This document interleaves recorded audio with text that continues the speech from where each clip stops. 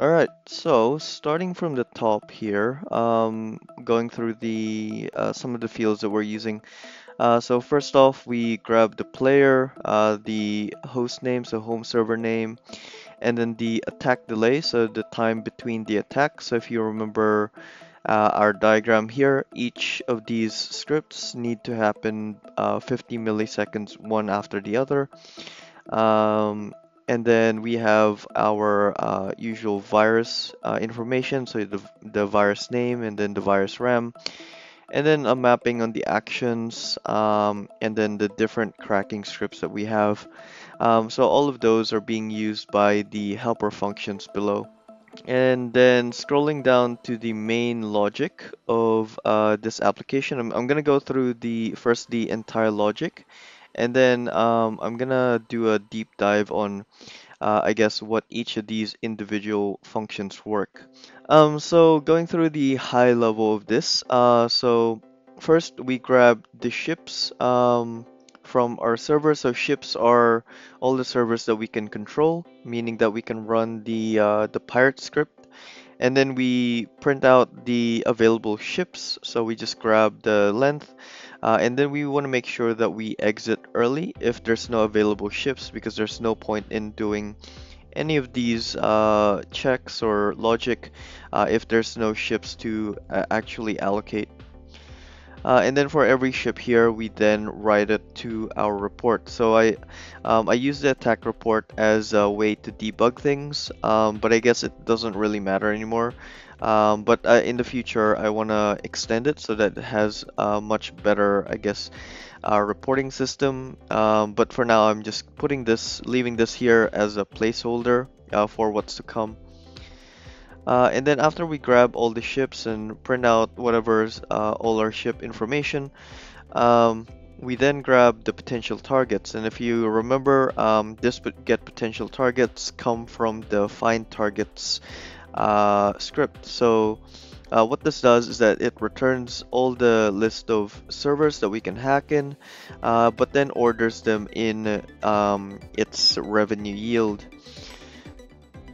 And then moving down here, so for every target, we grab the target's name. Um, we then allocate uh, resources. So meaning that, so the first thing we need to do is gather the requirements. So what this get requirements does is that it grabs, uh, I guess, information about the delays for the hack weaken and grow scripts, uh, the maximum number of threads this target node needs, um, as well as the strategy, so the sequence of these hack, grow, and um, weaken scripts. Uh, moving down here to um, creating the fleets. So after we retrieve the requirements, we then create the fleets uh, using that requirements. So what this create fleets function does is that it looks at the requirements and then looks at all the, the, the ships available to us and then it groups them into organized fleets. So fleets represent uh, an action uh, on the sequence, and then uh, it has a group of servers that can execute that action. Uh, and then we also return uh, an assigned here, so all the assigned ships, just so that we can delete them from our uh, roster, so our, our available ships, so that we don't um, reallocate them in the future. Um, so after retrieving all the fleets, we then also set sail, so meaning that we run the exec command. Um, so here you, you could see that I pass in a whole bunch of arguments, uh, but the, the key thing here is this PID here. Uh, so uh, whenever you run an active script, so let's have a look at here um, it treats this entire thing as its own unique identifier. It doesn't just treat the just the script name as a unique identifier. It needs to be, it treats the whole thing as, um, I guess, uh, a, a, script running. Uh, if we look at a server that's running multiple threads, so for example, comptek, um, if we don't have this PID here, uh, the exec command would report that um, this script is already running because there's nothing unique between this and this. Um, so just to make sure that we can allocate uh, resources uh, effectively, we add this PID uh, just so that if we are uh, this server is already targeting uh, that um, I guess this server, um, then we can uh, run another script that can run at another time and then uh, allocate different resources for that. Alright, cool. So that's that's what the PID does. Um, so this, yeah. So we I already talked about the updating the roster, so deleting the uh, assigned ships from our list of ships. Um, and then we then check uh, how many ships are available. So if there's no more ships available, then we break out of this loop so we don't go over the, the next set of targets. Alright, so starting from the top, let's start with um, what this get ships does. Uh, so this one's pretty simple. I think it's very similar to um, some of the algorithms that I've um, already made. Uh, so first we grab all the network nodes within uh, all the nodes within our network and then we filter them out um, based off the things that we can penetrate. So um, we have uh, enough penetration scripts to um, hack the node and gain root access. Uh, and then we it also has enough RAM to support the, the virus. Um, and then down here we then just prepare the server uh, meaning that we gain root access if it doesn't already. And we also copy uh, this, uh, this, the virus over to that server. Um, I want to make sure that whatever comes out of this get ships uh, this get ships function uh, is readily usable. So that's why I prepared this beforehand. And then down here I create a hash map. Um, this hash map represents a the uh, server name mapped to the amount of RAM available inside it. Uh, so let's say that this uh, a single node um, is already running two threads worth of scripts, uh, but the maximum thread is 10. Uh, what this one will do is that it's gonna map the server name uh, or the node name to uh, what how what whatever's left over, so 8. it's gonna do that for all the nodes that we can control. Um, so we, we can skip this uh, mainly because this is just uh, logging logic. And then we already covered this get potential targets. Uh, so we're gonna move into this main loop. So how does um, how does it allocate those resources? Uh, so going into this get requirements function. So for get requirements we find three different aspects about the node. So the first one is the strategy uh, which we've already covered. So strategy uh, determines whether we're gonna flog the server, so weaken it, we're gonna nourish the server or grow it, um, or we're gonna take money for from it, so plunder. So this get strategy just returns uh, the type of uh, strategy it is, the sequence of actions that it's gonna execute, and then the resource allocation between them. And then moving down to the delays, so this one is probably the key um, the key ingredient to making all of this work. Uh, so you, you want to make sure that for every uh, for every action within the sequence, you want to calculate the delays between them. Uh, this is kind of kind of hard to um, I guess visualize uh, actually what I did before I created this launch script is uh, that I created a test rig so this is implemented in HTML and um, it uses the canvas to just uh, allow me to easily visualize what I'm I'm doing. Um, I can't really do any math equations, so I did what I do best and tried to draw pictures.